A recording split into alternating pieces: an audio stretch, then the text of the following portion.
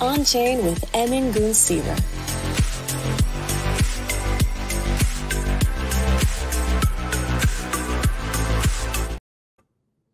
Hi, everyone. Uh, welcome to another edition of the podcast. It's a glorious day here in New York, and there is a lot of stuff to discuss, um, and uh, and really just uh, just a couple of sort of insights that I had this week from meetings with people in the asset management space. So let's just dive right in because there's been a lot of things, uh, exciting things happening on Avalanche, and uh, the most exciting of which is the Durango release. So uh, I don't know if you guys have noticed, but obviously we've we, we have some kind of a scheme, a naming scheme to these releases. Durango is the fourth major release of Avalanche. So uh, very, very routinely, much faster than any other chain, we've been introducing new features. And Durango comes to us, and even as I speak, it's active on Fuji. It's ticking along, and it has brought to Fuji, and it will bring to the mainnet very, very shortly thereafter, an amazing new functionality and uh, along with a lot of cleanup and so on. Uh, but uh, but I want to go through the, that functionality with you. The main thing it brings is this thing called teleporter. So what's teleporter? Teleporter is based on warp messaging, which in turn is based on BLS signatures. What is BLS signatures? It is a way to get a statement from a chain. It is a way to get a statement issued by the current validators that comprise a chain uh, in cryptographic form, signed, subject to all of the full security of the validators that comprise that chain. So that means there are no intermediaries, there are no additional trust assumptions. If you trust the chain, then you trust the BLS signature issued by those validators. So that's uh, that's essentially uh, the ideal, not essentially, that is exactly the, the gold standard, the ideal in trustless technologies. If you have an asset on Avalanche, well, then that statement uh, issued by Warp is equivalent to uh, to essentially, if you trust to to hold Avalanche to hold an asset for you, then uh, um, uh, the Warp messaging adds no additional trust assumptions for you. So, um, but on top of Warp, Durango introduces Teleporter, a mechanism essentially that makes Warp messaging practical and easy to send between subnets. What does that mean? Well, it means this. Now, from here on after, you can start your own subnet, and that subnet has seamless access, seamless access to all of the services and features that are accessible on other subnets. What are some examples of things you can do? Well, so a common thing that happens is, um, for example, that uh, somebody wants to start a subnet, but then they realize, you know, actually standing up a chain is hard work. You need to integrate. You need to integrate with uh, with exchanges. You need to integrate with uh, with oracles. You need to integrate with uh, data providers, etc., etc. And those integrations already exist on the C chain. And what what Durango, what Teleporter, and underneath what what uh, what Warp working in concert provides to us is the ability to create our own subnets and have them access those integrations that already exist on the C chain. So, for example, if you want to, like something that a lot of people want to do, is use a Chainlink oracle. Well, they all of those oracles are on the C chain. So now with Teleporter, it's trivial to access those oracles. You want a random number. Normally, you'd have to go to Chainlink. You'd have to take a ticket, get in their queue, uh, pay them for the integration, etc., etc. This is why it's so hard for uh, for a bunch of these other services on other chains to get started. That's is why it's there are so many ghost chains around. They lack the integrations. That's why it takes a good year for all of these services to get built up on any new chain. We went through that phase with the C chain on Avalanche. And the C chain is a rich, uh, thriving ecosystem. And, a, and, an issue that some people face is when they want to have their own chain for their purposes. They want to have their own token for staking. They want to have their own token for gas. They want to have their own validator set for compliance purposes. They want to have their own virtual machine. They want to have their own restrictions and rules, again, for compliance or for other reasons. They want to run a different validator set at a higher, hotter setting for higher performance uh, or what have you. There's a sky's the limit on why somebody might want to create a chain on Avalanche. We support it all, But one drawback was, well, if you go at it alone, you might actually uh, be facing a difficult uh, process. You might actually have to pay a bunch of other people for these services you might need. With Teleporter, that's no longer the case.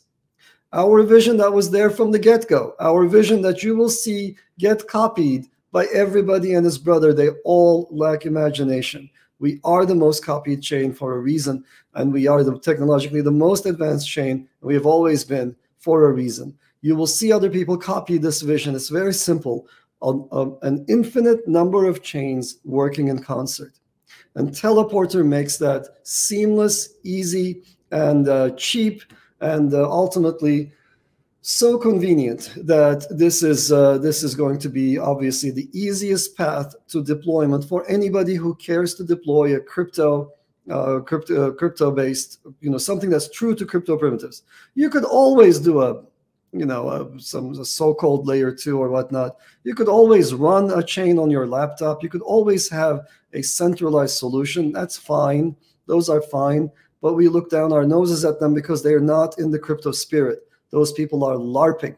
And they've been LARPing for two years. We're all waiting that for someday, the, the glorious day that arrives when uh, perhaps these things will be decentralized. They'll have a decentralized sequencer, or they will have uh, the they will have fraud proofs, etc. Those things are just not there in any practical form for any of those approaches. But the subnet approach from day one and the subnet vision of seamless chains working in concert is here and practical. So Teleporter makes it even easier to use, and I am so proud of, of what the team has put in. Now, is this the end all be all for scaling? No, no, there's much more for us to do, right? So why is there much more for us to do? Because the workloads change underneath us the space is constantly moving. Inscriptions come in and they put all sorts of unprecedented uh, pressures on the systems underneath, which, by the way, the Avalanche chain has withstood the, the immense pressures of inscriptions. And it's one of the few that managed to handle those. And uh, so there will be other people who come out and say, oh, well, look, Solana, da, da, da. Solana managed not to have inscriptions because it doesn't keep full history. Inscriptions don't go there because they don't have full history. Some inscriptions did, but uh, but they do the things. They have to do things in a very peculiar way over there.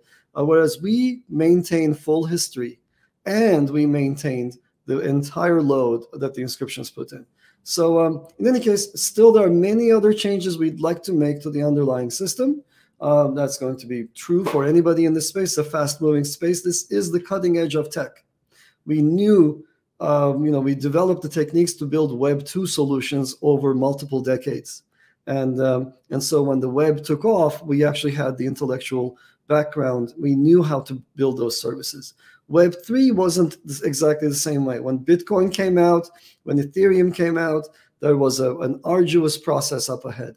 And uh, and now I think what we're beginning to show to the world is some of these things are becoming solved solutions. If you want true decentralization, you want fast consensus, Avalanche consensus is here. If you want to support as many applications as you can with all of the flexibility that uh, that customization can provide, then subnets are the way to do to do this in. And uh, and of course, seamless integration between subnets, a la Durango, a la Teleporter, a la Warp is exactly where the action is. So I'm really, really proud of what uh, what uh, uh, what Avalanche supports today, and I'm really, really happy uh, to see that people are now beginning to think about you know starting subnets for each and every application that is that is demanding for each and every application that might want to have its own rules its own uh, and want, wants to decouple itself from the gas fees on on the C chain etc so this is a fantastic development i'm really proud of the team and uh, you will also notice you should notice certain sort of meta messages I do this, uh, you know, I talk and, uh, you know, I have these like conversations with everyone. I love doing these. Um, and it takes a while for people to catch on to what's happening behind the scenes. So let me try to speed this up for, for everyone. If you look around, there's only one team that isn't just copying basic, basic broken stuff from each other. Okay. So uh, there's only one team that's not relying on just throwing hardware at the problem of scaling. That's us. There's only one team that advanced the science of blockchains from where it was, from where Satoshi left it, to the next level with Avalanche Consensus. There's only one team that has proposed a solution to scaling that did not involve having to solve a bunch of unsolved problems that still remain unsolved after two and a half years. And there's only one team that's delivering at a clip like this. So I'm really proud of the Avalanche ecosystem, really proud of the Avalanche uh, Avalanche community for bringing us to where we are today. So um, it activated, Durango activated on Fuji, and um, it's been ticking along there, as I alluded to earlier. And what does it mean? I think I, I gave you sort of both the practical impacts, and the practical impact is seamless, transparent integrations between subnets. You can start your own chain for your own purposes, get access to everything on the C chain, uh, get access to integrations with uh, exchanges, get access to oracles, get access to other services that might exist on the C chain, and um, uh, and and make it all transparent. So what's next? There's quite a bit more that's in the pipeline, and uh, I'm I'm going to be very very happy to go into that in subsequent discussions and podcasts. Uh, as I as I mentioned before, I'm not a big fan of talking about and dangling in front of people sort of new stuff that is to come uh, because uh, just you know it's just a because we get copied a lot and b um, it's uh, you know it's a fast moving uh, fast changing field so but i'm super super excited about uh, about what durango gives us and I'm super excited about this vision that we have realized of transparent communication between subnets. Okay, uh, so what else is happening? Well, another thing that's very, very big is the push to get institutional partners on chain. You know, there are a whole bunch of people who play these games of, uh, of the crypto games, and there are many different things you can do, right? The easiest game that I saw from a founder uh, three days ago uh, was he was trying to get a picture of his with Vitalik. Okay, so that's the easy game, the Vitalik proximity game. You could play that. Uh, you could try to pretend to be, you know, whatever this, that, and the other. Great, that's that's a game. Uh, those are all cannibals masquerading as uh, as uh, as aligned, um, and uh, they're just wolves in, in sheep's clothing. We've been here since day one, bringing new use cases to crypto. We've been here since day one, coming into the scene with a new architecture that can accommodate use cases that others cannot accommodate. We're not a single chain. We're not a one size fits all solution. We're not hampered by the fact that we have only one rule set that must conform to some jurisdictions, laws, etc., requirements, etc., and cannot do that because it's just one chain and you can't be everything to everyone at the same time. We're multiple chains and they can be specialized for different purposes. And that gave us a huge advantage. And that's why we've always been looking out from crypto to regular traditional finance to, to show them what crypto can do for them, to integrate their solutions or their services with the much better rails that crypto offers, to bring to them all of the benefits of cryptography, all of the benefits of, of cryptocurrencies and digital assets. So, to that end, I think uh, I talked to you at length about the Spruce effort. So we have this big overarching umbrella called Evergreen. So you will hear from me on uh, a bunch of different fronts. I have had to open up that Wikipedia page to all of the evergreen trees. I had asked me anything about conifers and, and pine trees and, and so on and so forth. Uh, so we have quite a few of these in the works. But spruce was one of the first ones, and uh, it had uh, uh it had quite a few players in it. And Citigroup has been uh, has been evaluating Spruce as, uh, as a potential platform for Rails. Now, some of you, I, am sure, um, have worked on Wall Street and or in financial institutions. If so, you know the Rails that they use today. You know uh, all about bitemporal databases. You know all about these funky, very complicated um, sort of overstructures or superstructures that they've built on top of, of regular databases to try to keep uh, multiple databases in sync to try to achieve uh, this uh, this uh, this merger between multiple timelines that participate, where, where multiple machines participate in the transaction. So, and if you've ever seen that code base, you've seen layers upon layers, and sometimes the layers are so ancient, it's kind of like going to Rome or Istanbul or or or, or Jerusalem or something, where you look and you see all these uh, these different cultures that have left behind their their stones, right? You've got the Roman stuff and then the Greek stuff and then the prehistoric stuff underneath. All the way down, sometimes you find COBOL. And every now and then you see Job, uh, uh, advertisements looking for these uh, these unicorns that uh, that you know that get paid a hell of a lot of money because they they speak the COBOL language from 19 I think 1970s, early 70s. A lot of financial rails go all the way back to this ancient archaic stuff. So if you think about what that what they have to deal with today, and you compare it to what you and I can easily do with a very simple wallet, um, it's night and day. And uh, and so they need to have, you know, these institutions need to now develop the spine required or the confidence required or the trust required to be able to say, okay, well, these old rails are, are not very good and these other ones have enormous advantages for us. The time has come. I talked to you uh, a couple of years ago about a big trend in tech, and that is the, the bringing of, of cutting edge IT.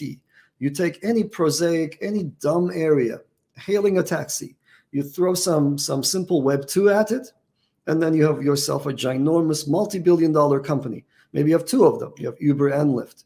Maybe maybe more. Um, and uh, a similar thing is going to happen in finance. It's way overdue it's overdue by about 10 years maybe more. Uh, they've been hampered by regulation. They've been hampered by lack of suitable underlying platforms. But the time is now coming and the platforms have now matured. Some of them are far better than others. Now, within the crypto circles, I understand how people think very, very well, and uh, and I know why they're in the ruts that they're in. I know why those teams cannot deliver, and that's exactly partly why my team can deliver so well um, and, and of course the Avalanche community can deliver so well because we're not falling into those ruts.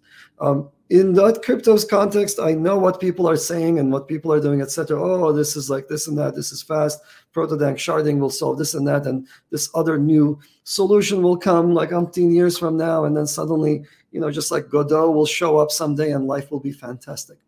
So I don't know if Godot will ever show up. He hasn't shown up yet. I've been hearing this for a decade now. I know that what we have is a fantastic solution. And uh, I know that it was designed from the ground up for institutional adoption. I know, for example, it's proven beyond belief that, uh, uh, beyond doubt, rather, proven beyond doubt by multiple scientific parties and peer review and so forth, that Avalanche consensus is far faster because it doesn't perform all to all communication. So um, we're in a universe where we can tackle the incredibly demanding performance requirements of institutional uh, uh, players here.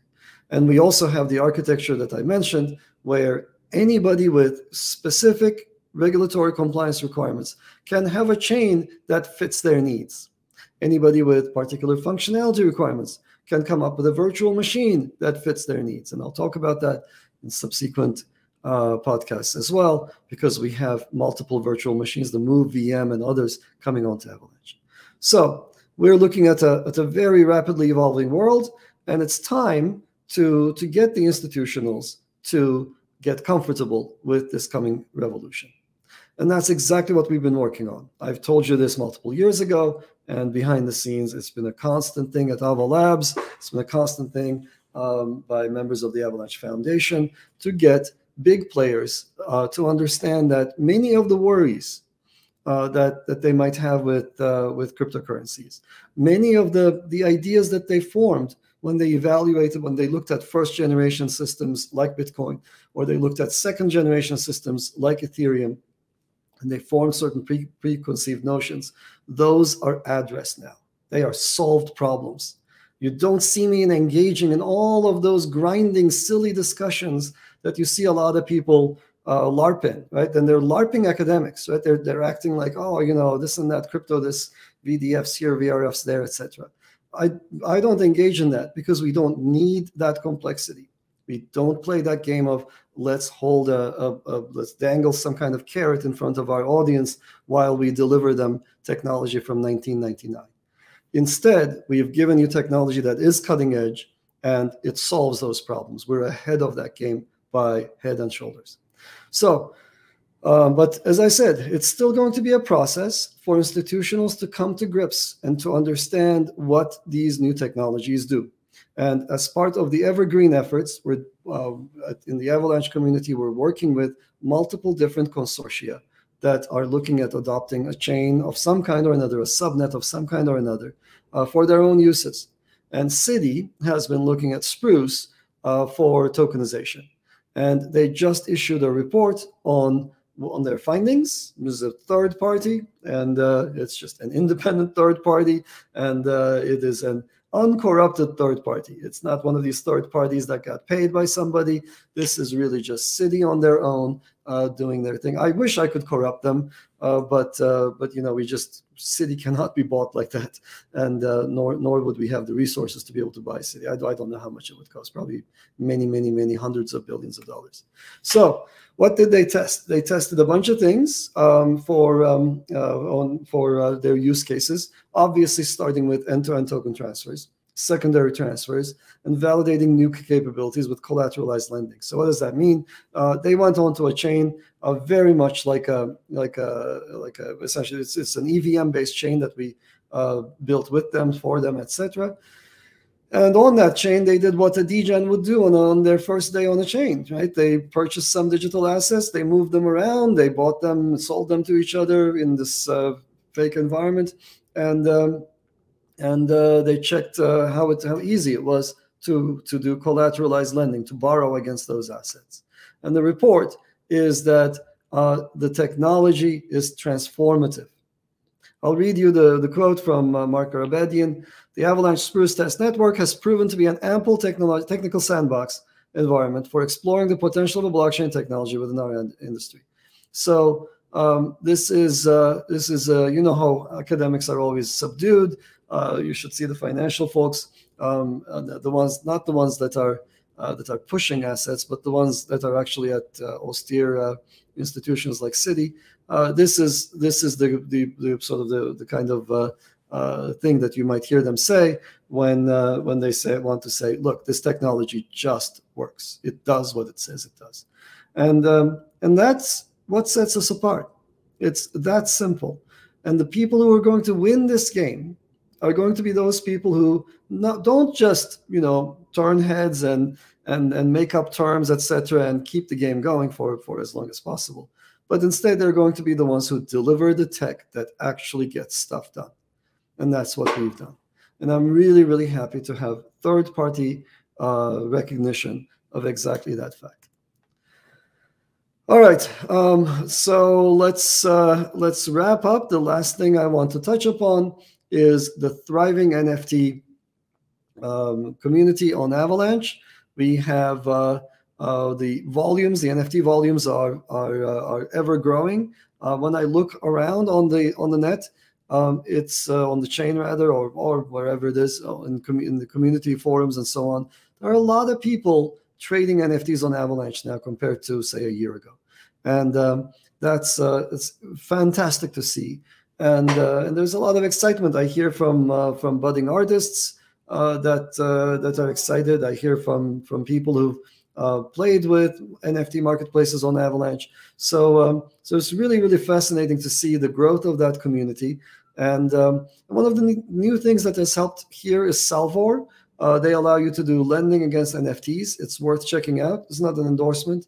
Anytime I mention something, people are like, "Oh, he's endorsing." I'm not. An, I'm not endorsing anything. Do take a look though. It's interesting what they've built. It's uh, it might be useful to you, might not. Um, and uh, uh, and there's also a lot of activity on NFTs and gaming. And I'm really really thrilled about what's about to happen in the gaming space. I talked to you about uh, uh, Shrapnel and Off the Grid. I'm super excited about both. Uh, I told you that I was going to buy a gaming system. I'm partway in in that process of getting my gaming system ready, and uh, and I cannot wait. And I think I might have told you that I played a bit of a role in Off the Grid, and uh, I think I, I don't know if I told you, but I occasionally have dreams where I'm in that city or in that Off the Grid where I played for 20 minutes, and I still have flashbacks to that uh, rundown, super cool place, and uh, and I want to run around in it again. I want to kill some bad guys and uh, you know overturn some ambulances and whatnot and and drive them around, etc. It's going to be so much fun. Um, and uh, gaming and NFTs go hand in hand. So it's high time for us to move beyond PFPs. Uh, PFPs are wonderful. There's nothing wrong with them, but there are so many other use cases for NFTs. NFTs in gaming is going to be a fascinating field, and uh, there will be all these uh, all these game items that outlive the games for which they were designed. Uh, I think we might very well start seeing things like, you know, somebody starts developing a set of a quiver of weapons, etc., etc., in some gaming universe that they then take with them for a very long time to come, maybe through adulthood and, and, and late life even. So I'm really excited about this. The Marvel universe, the DC Comics universe, etc. Those kinds of things are essentially just NFT universes, or will be NFT universes that we operate in, uh, where games are designed for, where uh, items from one game interoperate with items from another, and it's going to be a fascinating field uh, to watch grow. So. Um, so that's sort of what's happening, and those are the three main things that I wanted to pick up on today. Um, there's other stuff that's happening. Let me touch upon some of the funny things that that I saw today. Um, so one interesting thing was um, was a, um, a, a tweet from uh, from one of from uh, the Polygon CEO uh, saying that uh, there would be um, that anytime you see a, a, project leave an ecosystem, then um, then you should think about how much they got paid to move. Well, we're seeing a lot of uh, games and a lot, no, not a lot of games, a lot of projects, not just games, a lot of projects leave Polygon because their supernets don't work. Uh, you might remember that supernets, there was no supernet documentation. Polygon used to refer people to subnet documentation uh, because it was just a copied idea that they got from us. They changed the name barely and they were referring their users to our documentation for some time. It was that asinine. So, um, so that same folks who did that are now saying, "Oh, people only leave us when they get paid." No, people are leaving you in droves because your technology doesn't work. They're coming to a, another person who's offering them another system, another community that's offering them tech that fits their needs. That's exactly what's happening. And in fact, it's the it's the exact opposite of what they're saying. They're not getting paid to leave. They're leaving money behind to leave for a system that actually works. So we're finally getting to the chapter where it's put up or shut up. And, uh, and, uh, and we've put up essentially the most fantastic um, ecosystem that I can imagine at the moment. And um, uh, we've put together as a community a fantastic ecosystem overall. And I'm really proud of, uh, of the, the general trends that I'm seeing. Speaking of general trends, um, I was in a series of meetings, a series of dinners uh, this week. One with uh, with some, uh, let's just say, uh, with a very very large, very large TradFi institution that uh, that they organized with a whole bunch of um, a bunch of asset managers, and I think I was the only only crypto founder. No, I was one of the two crypto founders there, um, and um, and then uh, then the next day I was at a meeting with uh, with a bunch of hedge fund people and um, some politicians who are interested in the uh, the sort of the uh, the coming of age of crypto, and uh, it was really interesting. Let me give you some vignettes, and uh, and I'm it made me so bullish about where the space is going to end up, and it made me understand what the trends are that I'm seeing. It turns out that the BlackRock ETF the, the you know you, you all know that uh, that uh, the SEC approved uh, I believe 11 different ETFs. They're all ETFs that are looking to purchase Bitcoin. So those 11 BTFs, um, of those 11 BTFs, one of the big ones is by BlackRock. BlackRock, for those of you who don't know, is the world's largest asset manager. So they've been around for a very long time. They have uh, many trillions in assets, and they have multiple different ETFs that they've done over time. The Bitcoin ETF is apparently the most successful ETF to date. And so I think at this point, we should just sort of st- step back and, and say, yes, of course, we told you so. You know, as early adopters, I think we get to say that and we get to feel proud. Um, but I want to tell you just how successful this ETF is. It's not, it's not just the most successful ETF that BlackRock has ever done. BlackRock's done a lot of ETFs over multiple decades. If you were to take every single ETF that BlackRock has ever done and you combine them all and you treat it as if as if they were started on the same day and, and you sum it up, then the Bitcoin ETF is more successful than that fictitious virtual combined ETFs of, of all ETFs that BlackRock has done. So I want to leave you with that thought. uh, there is a lot of excitement in the digital asset space for, uh, or in the, in the, in the in the in the asset management space for digital assets. And uh, the day when uh, asset managers, you know how asset managers work is, uh, you know, if somebody's thinking about retirement, the, you know, at some point in your life, even even you Zoomers will at some point have to do this. It feels like a very long time away, but it isn't. At some point, someone you will have to talk to someone, and they will tell you how to allocate your retirement funds. You will have a nest egg at some point you know i was a professor at cornell it wasn't very big but no matter what you know at some point you'll have some some amount of of uh, resources to manage. And they give you model portfolios. So um, so you know at the you know common things that might exist in a portfolio are things like stocks bonds etc so uh, and today they would be just traditional instruments in the in those portfolios but what I'm hearing is that the days are where asset managers might advise people to hold risky assets, alternative, what they call these alternative assets, in, including crypto, uh, where, say, a percent or two of somebody's retirement savings might be allocated to, to crypto, are not very far from today. If this were to happen, this would be an amazing boost to our space. And, uh, and it's, it, to me, it seems inevitable to me, it seems that there is definitely a, the, this is the emergence. We talked about this before. The emergence of a new asset class is uh, is always kind of rough and kind of unknown and and risky, of course. Uh, but I think we're over the hump where uh, these assets can be ignored or banned. I think even even certain people, even certain politicians who've been trying to ban this space, will ultimately come to realize that they, that they just can't ban it, and in fact they as you can see with the Bitcoin ETF, that, it, that they had to recognize that some parts of this space are clearly legitimate. There are good actors here. There are decent assets in this space. Uh, there, are, there are flagship assets. And, um, and those will end up playing a big role as we move forward. So I want to leave you on that note. I was in these two separate meetings and I left them thinking that, uh, that this space is incredibly bullish it made me feel, frankly, and you know, between between the lot of us, um, I have to say I was a little bit disappointed. I wanted a little bit longer of a bear market because bear markets clean out bad behavior. You know, the, the beginning of the last bear market got rid of uh, some bad actors. It got rid of FTX silliness. It got rid of quite a few, not all, but quite a few of the SAM coins that were artificially propped up by our savings. So, uh, so that was good and I needed, I think I needed, but I wanted a little longer uh, of a bear market to clean up the space a little bit more. There are still some stragglers, there are still some BS artists in this space, but um, uh, but regardless, I'm thrilled to see uh, signs of bullishness. I'm thrilled to see uh, this much interest from the general public for Bitcoin, the, the granddaddy of all digital assets. And, um, and I cannot wait to see where uh, where this journey takes us. It's going to be a fun space. It's going to be, uh, I think, uh, an exciting uh, time for all of us ahead.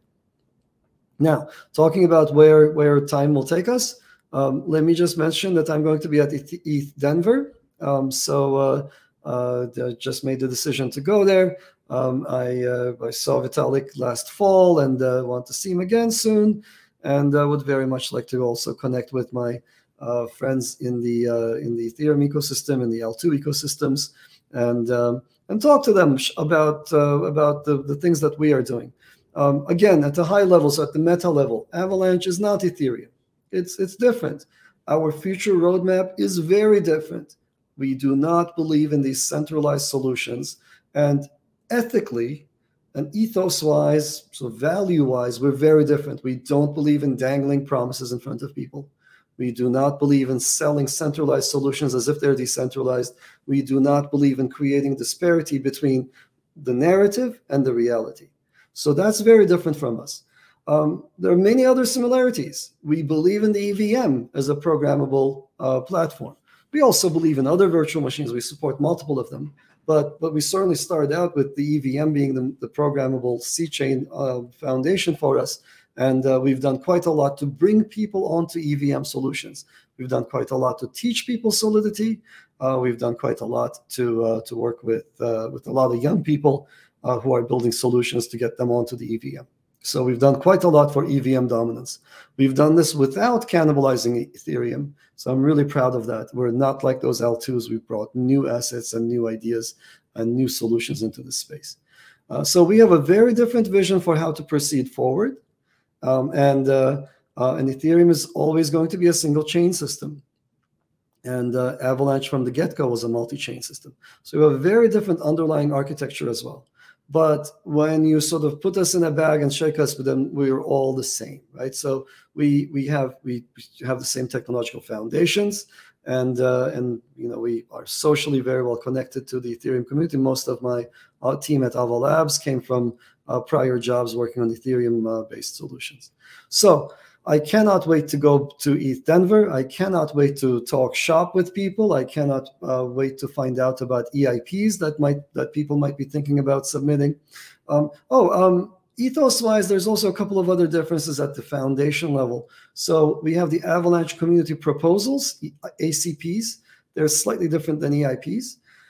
And um, we track many of the EIPs. The good EIPs in our in in in, uh, in in the Avalanche community opinion that we like um, as a community, uh, they get turned into ACPs. It's a community process.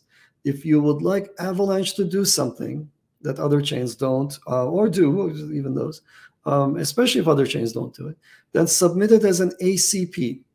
And uh, and it's as you know, we deliver very very fast. Uh, we're we're a fast moving team. We're very different from others in that respect. So, and we are very eager to take cool new technologies, cool new ideas, and uh, and adopt them either into into one of the XP or C chains or into a different subnet in some cases.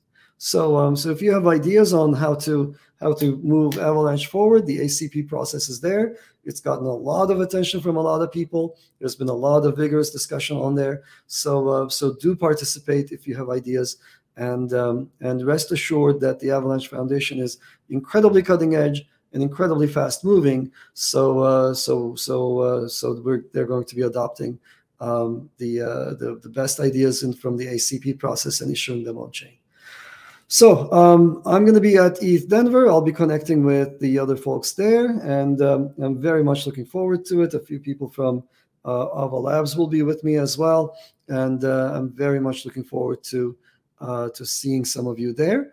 Um, and of course, um, the uh, Avalanche Summit was announced earlier this year. It's going to be in Buenos Aires. I'm super excited to be in uh, in Argentina in uh, October-ish. The exact dates have not been announced yet, but it's going to be around October. So um, I can't wait to see you all. Cannot wait to see you uh, in person at one of these venues, and certainly can't wait to see all of you on chain.